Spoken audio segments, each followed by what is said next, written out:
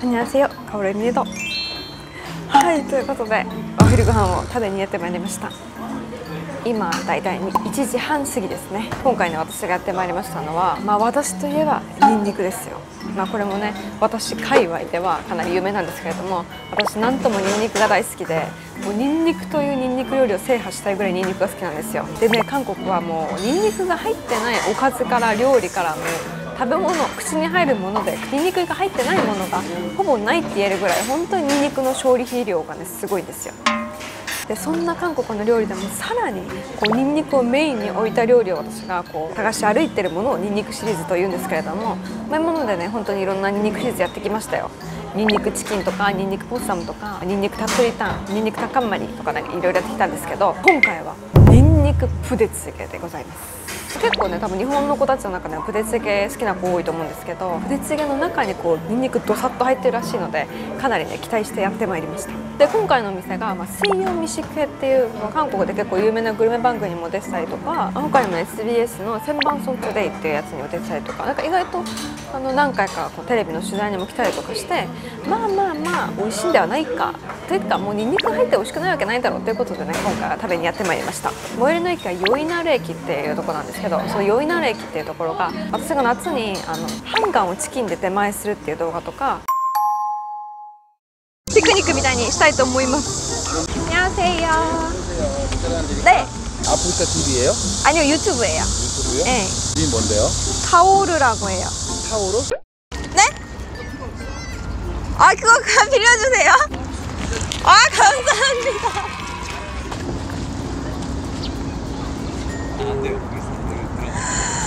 와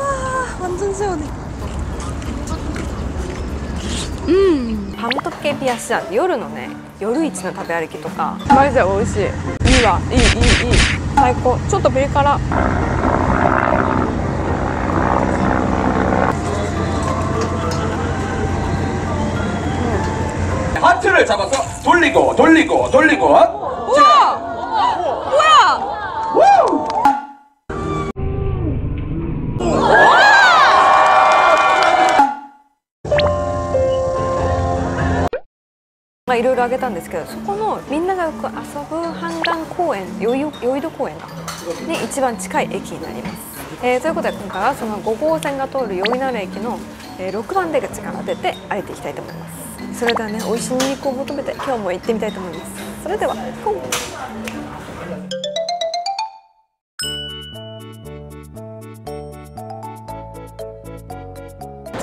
はいじゃあここはねヨイナル駅の、えー一番出口になります。一番出口から出ましたら、えー出てですね反対側に、はい、直進します。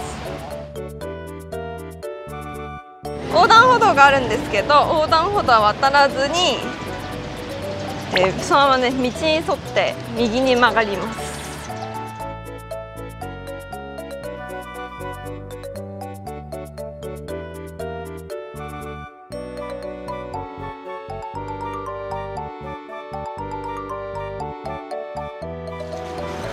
ここら辺なんですけどお店が多くてどこかわからんなこれだね多分この中に入ってると思う 뭐 음. 저기 혹시 여기 희, 어, 희전 식당이라고. 희전 뭐, 지하 어디 시, 아 지하예요? 네, 내려가서 지하에 네. 오른쪽으로. 아네 감사합니다. 네 내려가서 오른쪽.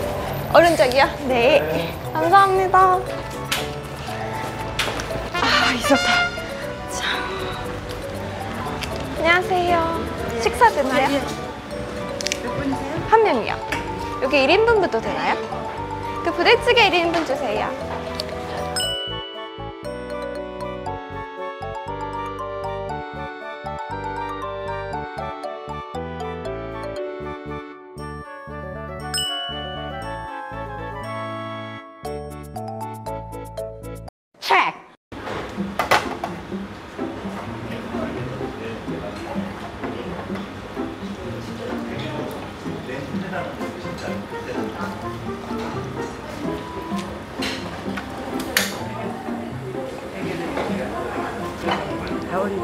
네. 와. 고춧가루 마늘. 네. 다 했잖아. 네. 아, 맛있겠다.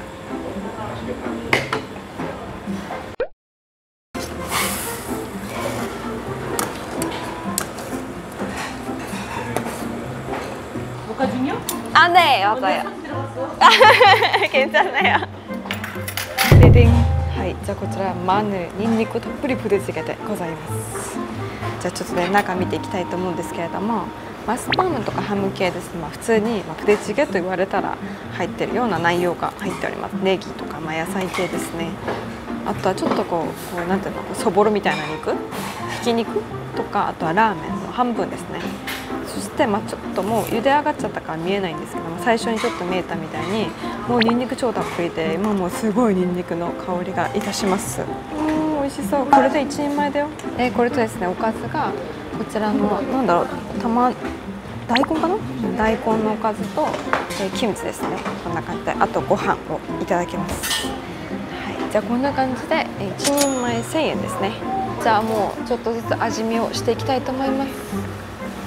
インスタグラムとツイッターのフォローそれから高評価とチャンネル登録お願いいたします。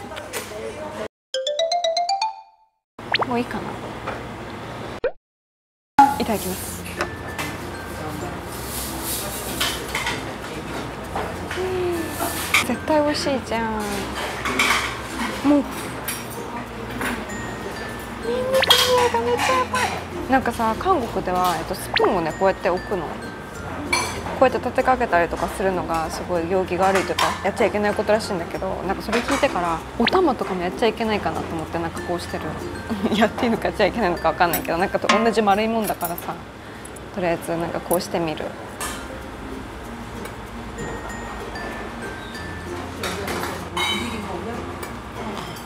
うん。日本の漬物にめっちゃ近い。うん。塩味が強い。ちょっと日本の白菜の漬物に近いキムチです。うまっ。えじゃあとりあえず重要なのはスープですのでスープ食べていきたいと思います。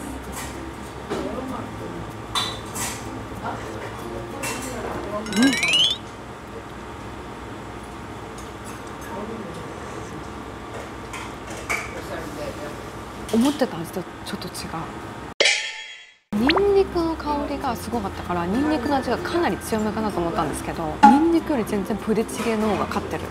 だから結構ブデチゲって中にビーンズベイクドビーンズっていうなんか缶詰にされた豆みたいなのを入れるんですけどそれが若干こう酸味があるんですよ。だからそれが結構苦手な日本の子たち多いんですけどその酸味の方が強いかな。こんなにいっぱい入ってるハムよりもこんなにいっぱい入ってるニンニクよりもベイクドビーンの酸味の方が強い。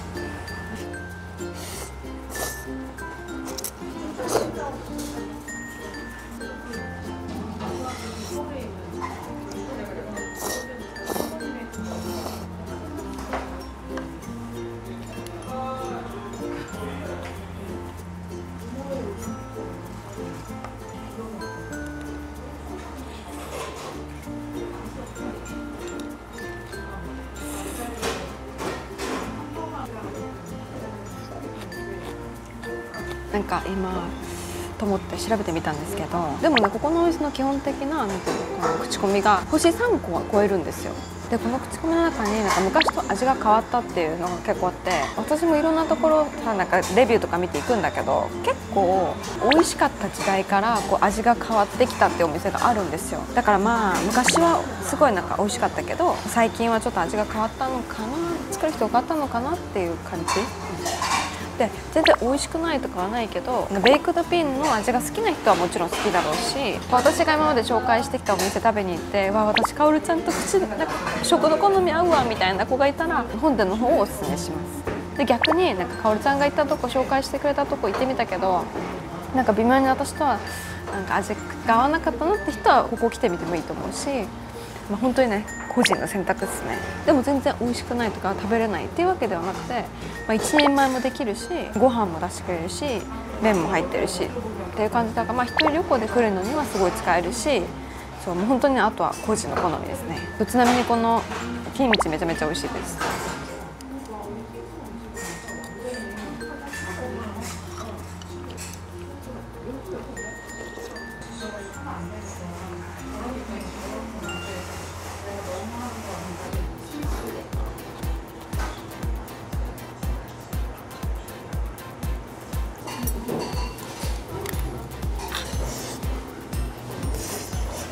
で今さっき私ここのお店来る前にカフェで休憩しててインスタの質問コーナーやったんですよ。そしたら質問の中に韓国人ってこう何スプーンにこうやって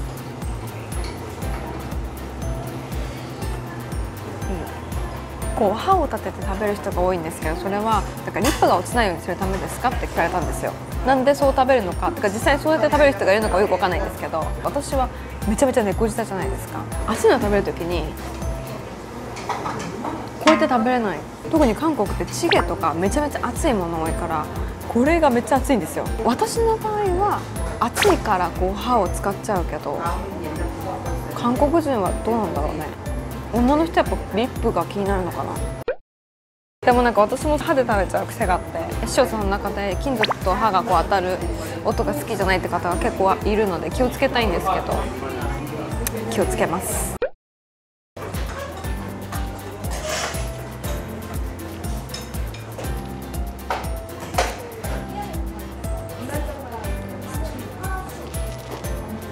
私みたいにニンニクが好きでも本当ガツンってニンニクの効いた食べ物が食べたくてここに来るって思ってる人は、うん、ニンニクはそこまで期待しない方がいいかな。ちょっとニンニクのパンチが足りなかったかなっていうのが正直な感想かな。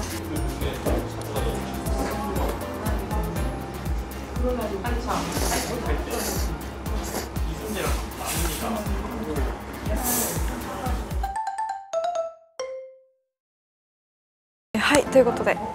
ごちそうさまでした。まあねどんな感じかっていうのは全部食べながら話したので、まあ、大体分かってくれたと思うんですけれども1人前からプデチゲやってくれるお店もそうそうないし、まあ、それプラス今回はねニンニクブデチゲということでそれに惹かれてきたんですけれどもまあ味は普通。ニンニクブデチゲって謳うほど特別な味ではなくて普通のブデチゲよりもちょっと酸味のあるブデチゲだったかな。で結構ブデチゲっていうとコメント欄に多いのがベイクドビーンズが苦手な子がね割と多いんですよ。お店に食べに行くとなんかベイクドビーンズが入ってないブデチゲないです。皆無です。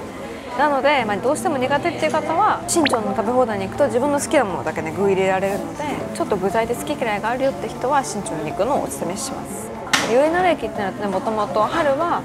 お花見があって夏ぐらいになると夜ねフードトラックが出てきて私も前に食べ歩きしたんですけどそういうのもあるし海岸沿いでこうチキンの配達したりとかして割とねあのゆったり過ごすにはおすすめの何駅なのでもし